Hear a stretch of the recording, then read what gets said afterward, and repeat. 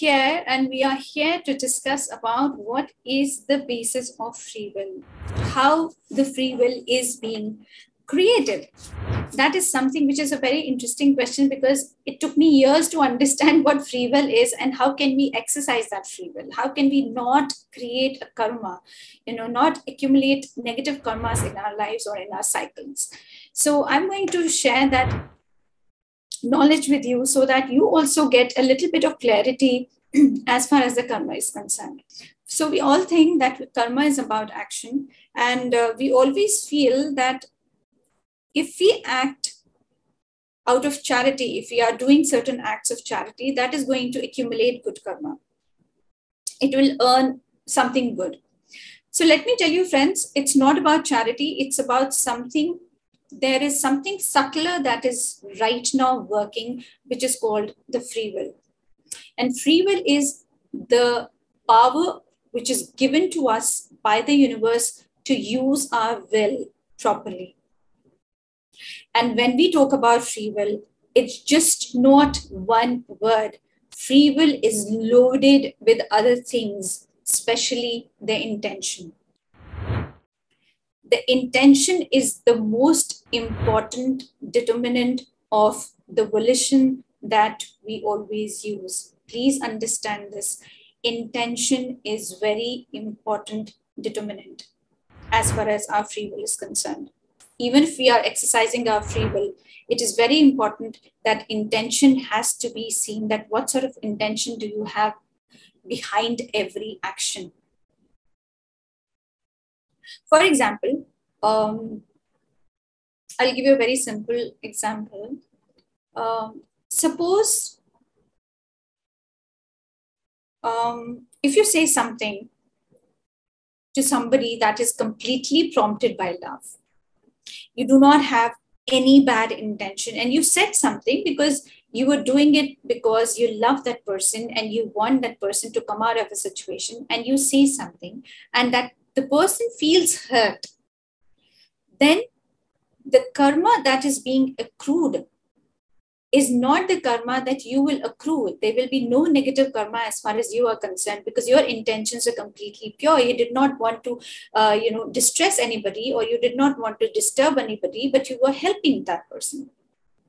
Secondly, the another aspect is suppose if you're saying something out of hatred or animosity to somebody, and the other person who's listening to you does not take it in the sense does not receive that hatred does not think that it is um, said in a uh, you know hateful manner or with bitterness then the karma that is being accrued will be on your part.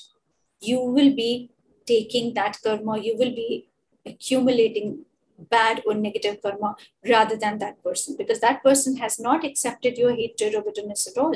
The person feels that it is your love. But because it is coming from you with lot of hate with lot of jealousy with lot of envy with lot of other negative emotion then you are the person who is going to accrue lot of negative karma. I will again um, give you a very uh, a, a sweet example in the form of a story because that story is etched here in my heart. And uh, i always uh, tell people this story whenever i'm describing uh, in detail about the karma. So this is a story that was being um, uh, you know uh, told by sri ramakrishna paramahansa. And sri ramakrishna paramahansa always used to uh, talk to his followers and the students whenever they used to be there. So uh, there was one time he was just sitting and uh, he was telling the followers about uh, you know what karma is. So he was describing a, a beautiful example. So he said that there were two friends. And those two friends used to go to the brothel house every saturday. And uh, every saturday they used to go and entertain themselves by being with one woman. So there was a day again the saturday came these two women were again going to the brothel house to uh, entertain themselves. So what happened was in the midway, the friends they saw that uh, there is a, a kind of uh, you can say a lecture hall whereby a big brochure of uh, Bhagavad Gita was there, uh, which is our Indian scripture, uh, uh, beautiful Indian scripture. Uh, so it was there, and it was written that there is a uh, spiritual talk on Bhagavad Gita that is going to happen. Now, one of the friends, he just started thinking that okay if i go and uh, sit in the lecture hall i'll be one notch up from my friend because uh, i will be able to secure a place in heaven for myself and this was the thought that prompted him not to go to the brothel house but to be in the lecture hall. So he goes and sits in the lecture hall and the second friend continues his journey towards the brothel house. Now what is happening to friend A, who is in the lecture hall, he's just thinking. He's just thinking and he's rigging his mind and he's just thinking about his friend who is there with that lady. And he's just thinking, oh my God, he must be having the time of his life. He must be enjoying his life. So there is this feeling of jealousy and envy also there was always already a feeling of manipulation in him when he started manipulating when he said that okay i'm going to the lecture hall because why because he wanted to have one seat in heaven so already there was a manipulation because he wanted there was a lot of comparison and competition in him it was already there. Second thing he did was jealousy and envy. When he started uh, you know uh, thinking about that that person might be enjoying so much.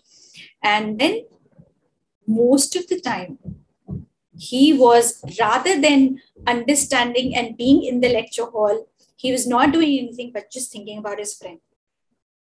On the other hand the second friend of his what did he do you know when he reached there he was full of admiration and appreciation towards his friend why because he thought oh my god my friend is great soul because he chose the spiritual path than the carnal pleasures. He did not give in to the carnal pleasures today, and he actually made certain amends in his life, and now he is growing spiritually. So the B, the friend B, who was there with that lady, he just kept thinking and he just kept thinking about his own limitations. That, oh my God, there are so many limitations there inside of me. And I have to work on my limitations. Now, friends, Sri Ramakrishna Paramahansa says at that time that who is going to accrue more karma? The friend A, who was there in the lecture hall and listening to that spiritual talk of Bhagavad Gita, or the B who was there in the brothel house with that lady. So, when we ask anyone, everybody will be like, oh my God, the person who was in the brothel house, obviously, because he was doing something that uh, is not ex- uh, expected out of him. But no, friends, this is a paradox. This is irony here that the A friend, the A person who is in the spiritual hall, he is the one who's going to accumulate more karma than the friend B. Because what happened was whatever he did, whatever he did at that time, even if his own decision of sitting in the hall was actually backed by an ulterior motive. He had a motive behind that, and that motive was very, very negative be it jealousy, be it envy, be it competition, be it comparison, be it anything that was there. So the person who thought that he's going to accrue good karma, he's going to be in the good books of God, he is the one who ends up accruing lot of negative karma. As compared to the B friend, you know why? Why does B not accrue the karma? Because he could understand his own limitations and he accepts those limitations and then it becomes a doorway for him to actually work on himself it actually opens that door for that spiritual growth, for that spiritual awareness for which the soul is always seeking for. So he becomes the seeker. And then he does not accrue any karma.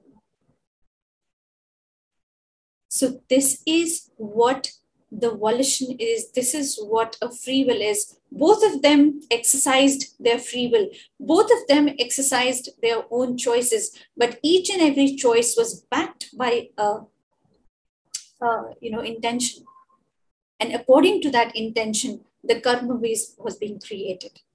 The cycle was created. That's wheel of karma started spinning. So this is, my friend, how karma actually penetrates into our lives, everyday life. And unless and until we are conscious of our choices, I'm again and again repeating this, unless and until we are conscious of our own choices that we are making, we'll keep creating karmas every second of our lives. And that is something we don't want to do, I think. I hope, I hope. I don't know whether I uh, made everything clear, but I hope I gave you a lot of clarity as far as the volition or the free will is concerned.